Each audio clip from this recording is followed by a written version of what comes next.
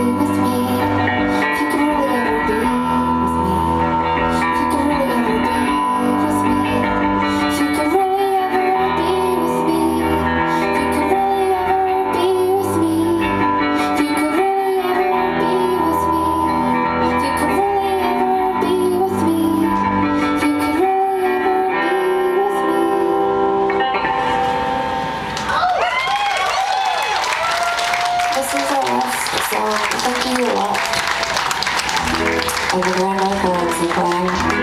Of course, they are cool too.